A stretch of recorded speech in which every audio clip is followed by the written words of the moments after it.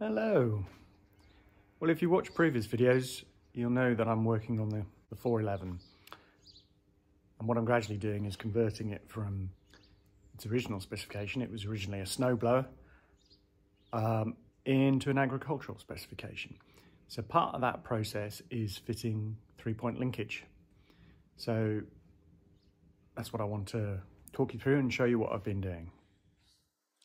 So we're looking at the 421 here, but the reason being is I want to show you the three-point linkage on the back because the setup on the 411 is identical.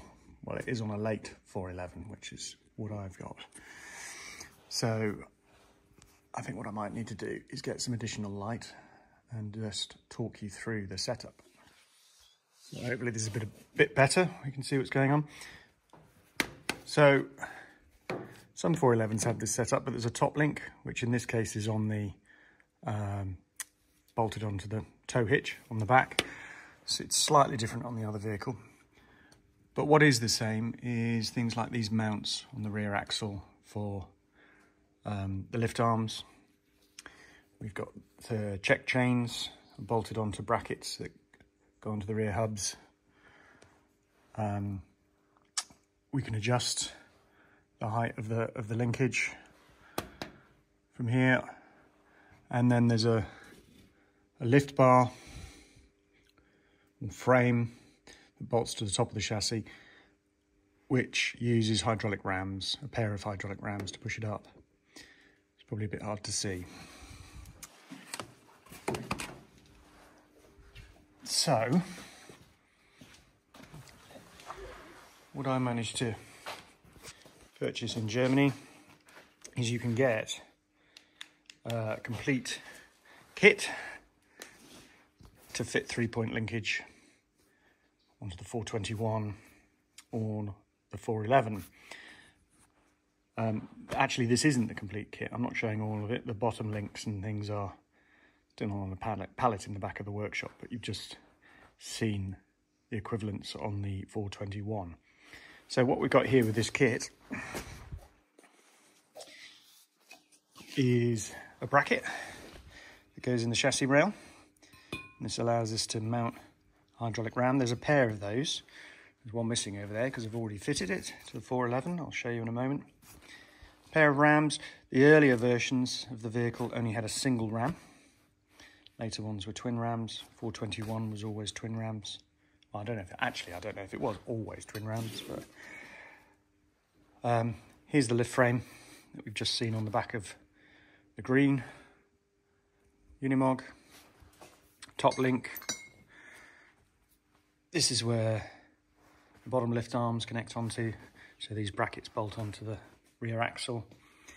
And these are the brackets that bolt onto the hubs around they look like that when they're bolted on with the, the check chains hook on to um, and then in the kit there's smaller components.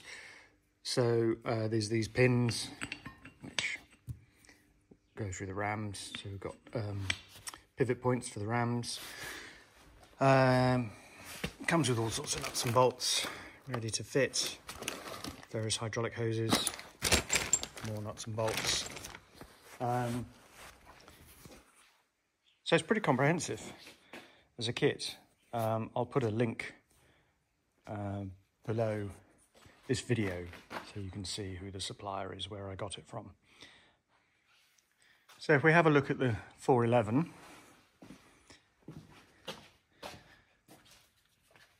I've tipped the body up just so we can, uh, also I can get access underneath while I'm fitting everything. And the bit of wood there is just a safety prop, really, a very basic safety prop. But if you look here, you can probably see I've got one of the brackets in already. It's maybe a little bit hard to see. You can see it in, in there. So that slides inside the chassis rail. There are various bolt holes on that bracket. And some of them, if we look on this side, which I've been working on, pick up on existing holes. So the battery box here um, picks up on its uh, mounts. We can pick up on the mounts for the um, subframe for the rear body. Um, I've only had to drill one hole in the vehicle chassis rail. This is this one. I thought it might be a bit of a nightmare to drill, but actually it was okay. Uh, it's um, it's mild steel, so it's not too bad to drill.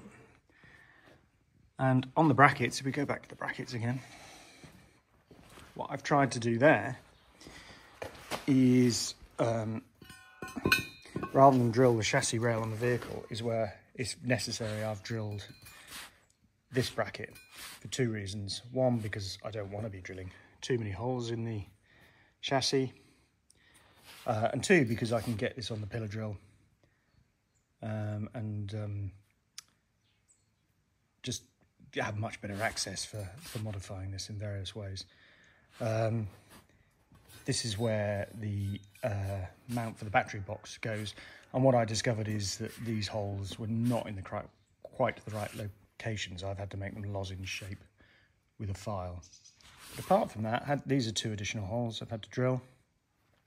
These holes here, this is designed to clear the bolt head um, for one of the mounts for the rear body. And I'm picking up this hole as well um, for mounting. So this takes thrust, well, in either direction. It's a double acting ram for either lifting or pushing down three point linkage. Uh, at the moment, I think five bolts, they're 10 mil bolts, high tensile bolts, should be enough in taking in terms of taking that load. Um, I don't need to use every single bolt hole on here. Things like this hole here on the um, 421, when it's fitted to that, there's a big pin that goes through there that's also mounts the uh, spider frame, the rear subframe on the body. That's not used on the 411. So these are universal. These um, fit both. May They do need a little bit of modification, but not massively. So there is a little bit of drilling involved, but they're a pretty good fit. Didn't come with any instructions. It's one of the reasons I'm doing the video, if anybody wants to fit them. But also, obviously, I'm, I'm lucky enough to have the uh, 421 and I can use that to work out where everything goes and take dimensions from. Another part I've already fitted is these pillow bearings that go on the end of the lift arm. There's a bearing that you have to push fit into there. There's a, a rubber O-ring that goes inside and then that's push fitted onto this lift arm, which is very substantial. It weighs an absolute ton. Um, but that's reassuringly heavy given what it's got, got to do because there's a lot of leverage on this when you've got it under load. I mean, it's going to lift, I think it's rated at a ton and a half, something of that sort. Uh, and it's a very short stroke here. So there's a lot of load on this short arm, um, but it is very substantially made. Now the great thing on the, on the Unimog, well on all Unimogs really, but um, is that all the bracketry is already there when they were designed and built. Um, even though they might be used for different specifications, like this one being used as a snowblower, it still had all the holes in the right place uh, and mounting brackets and things, or uh, parts of the mounting brackets for things like three-point linkage. So if we come around and look at the back of the vehicle, these are the bolt holes for the pillow mount for where the cross frame goes, for example. And it's things like, um, because there's a step here, because of this rear cross member, there's a spacer already welded onto the chassis. So a lot of things were done in the factory on the assumption that the vehicle specification wait for the vehicle to go by. Uh, the vehicle specification could vary, you know, um, and not only vary when it was built, but vary over its life, just like it is for me. Um, so this hydraulic ram, because this was a snowblower, it didn't have a tipper body on the rear. It had a great big donkey engine bolted in the back. But the mounts for having a tipper, that was all there. So it was very easy just to drop this ram on. Similarly, the hydraulics, the spool valve, um, is all there in the cab when I get to the point where I'm fitting the hydraulics for the, uh, the hydraulic hoses and things for um, the three-point linkage. I'll show you all that. similarly, if we look under the vehicle, that's the mount for this crossbar for the um, bottom links. Uh, the other side picks up on two of these long bolts that go through the diff. And the interesting thing is when you look at it, it's probably hard to see, I could do some more light. Um, there's a spacer here, uh, and that's they're ready. That means those bolts are over length. You can take the spacer off, and the bracket goes on there. Um, the mounts for the check chains, they pick up on some of the bolts on the rear hub here. So it's all been really well thought through in terms of how everything fits on here and whether it is fitted to a particular vehicle or not. Mine at the moment doesn't have a PTO. This is where the PTO shaft would come out of. Um, but I have got the PTO gearbox ready to fit. But at the moment, I'm just going to focus on the three-point linkage in a later video. I'll uh, show fitting the, um, the PTO gearbox and the shaft and things. So, that's what I'm up to. Let's carry on. So, the bracket has the potential to be a bit of a water trap. Um, so to reduce chances of corrosion, I'm going to paint this with, well, cover it with copper grease. That will um, mean that should reduce the chances of corrosion and also if I ever need to get it out again, it should come out much more easily.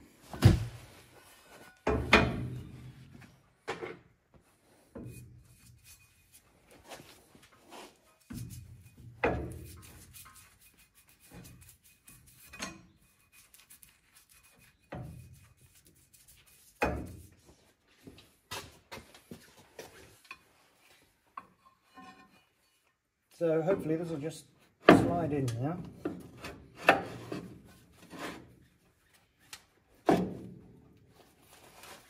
Just want to be careful, eh? I've got electrical cables for the um, wiring harness. Just want to be careful I don't trap anything like that.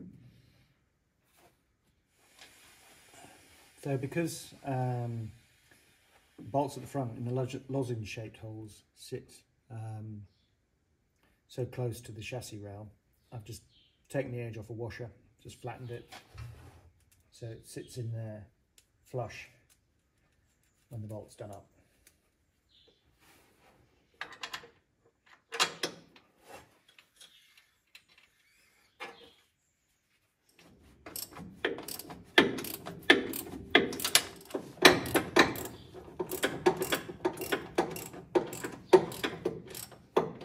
So when you put these rams in, these are handed as well because of the ports for the hydraulic cylinder. So it's important you get them in the right way around. Otherwise, some of this framework in the chassis is going to block where the ports need to go. Okay, so it takes a little bit of thought.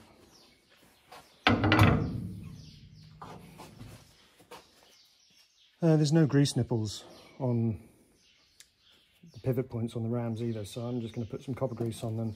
They're a fairly a loose fit anyway. So in terms of maintenance, it will probably be a drop of oil on these pins. Um,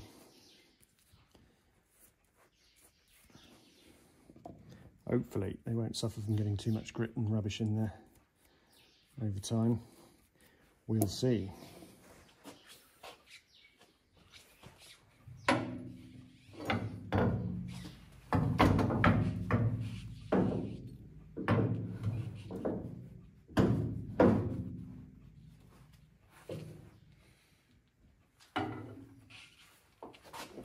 Right.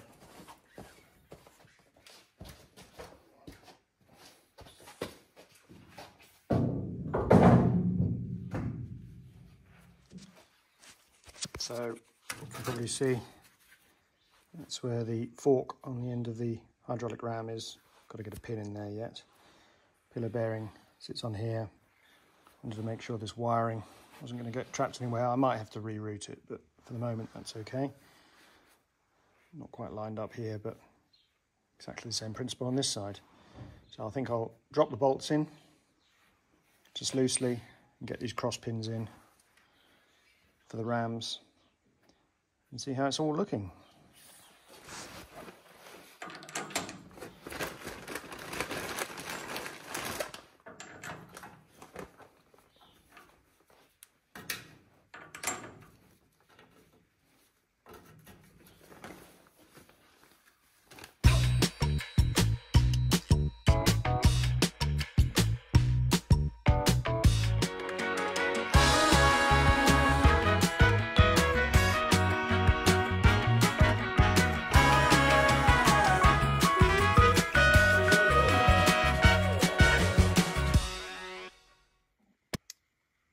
This is the bracket that holds on the um, check chain, um, which bolts to the hub, which has basically gone all right. But if we look up from underneath, you can see uh, there's a gap here. There's a bolt that goes through there.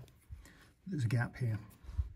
So I think probably what I'm going to have to do is cut this bracket off, bolt it up against this bracket on the axle, tack weld it, remove it, weld it up properly. On the other side,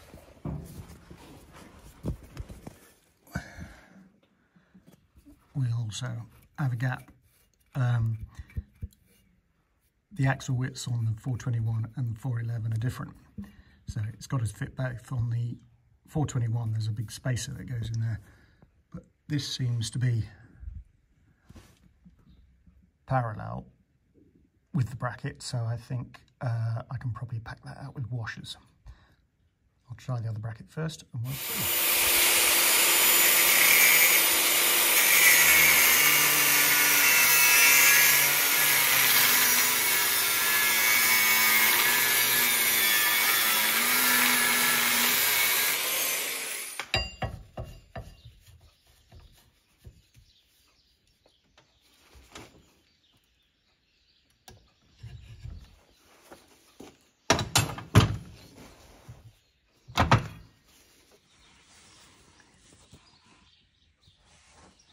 So we now have this gap. I didn't cut it off entirely. I thought it might, because I knew it was touching at this end. So I've left a, a little bit of the weld there um, and just leaving it out. I've now bolted it up. It's all bolted up here as well. So this gap should now be right. Um, so I'll take it apart, to tack weld, try it again, um, and then if that looks to be okay, I'll weld it up fully. So if you're wondering what the wing spanner is for, it's just to keep the gap right because it'll be inclined to contract slightly. So while it's cooling, it'll keep it in the right place. So this is just going to be a tack weld really to begin with.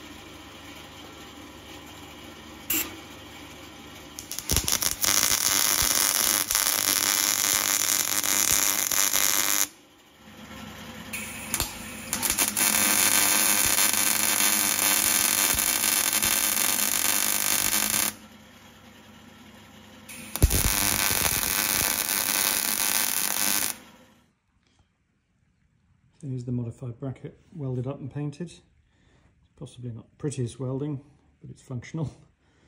Um, on the other side, I'm going to try it and just make a spacer that goes in this gap in here. And when I put the uh, top link bracket on, there's a couple of brackets become redundant. You take these off, don't need them anymore. We're sitting on like that. So I'm thinking this, this is nearly the right width with a little bit of grinding. I think I can make this the spacer. So we've got a convenient hole as well that I can put the clamping bolt through. So I don't think I need to do any welding because it's parallel on the, on the right hand side of the vehicle already, that gap. Um, so I'll modify this and I can see if I can make that fit. But first of all, I'm going to put the welded brackets back on, see if that's okay. So there we are, the bracket is on, the gap is gone, and it's all bolted. So I'm happy with that. And the other side in as well. And that's the spacer just there to take up that gap. So the brackets for the check link chains, I think, are in. So everything is now fitted, the rams, the bracketry, uh, the lift frame, top link bracket, lower link arm bracket, check train, check chain brackets. Um, so next thing to think about is the hydraulics. So the kit comes with these hoses and connectors and all that's really going to allow me to do is um, the two rams run in parallel So it's just interlink hoses between the two. I don't have the hoses yet to run through to the spool valve. Sorting out the hydraulics properly will come in part two. So I'll leave you with some video I took at Unimog Museum of this rather beautifully restored long wheelbase 411 with three point linkage. So hopefully in the next episode mine will be starting to look more like that.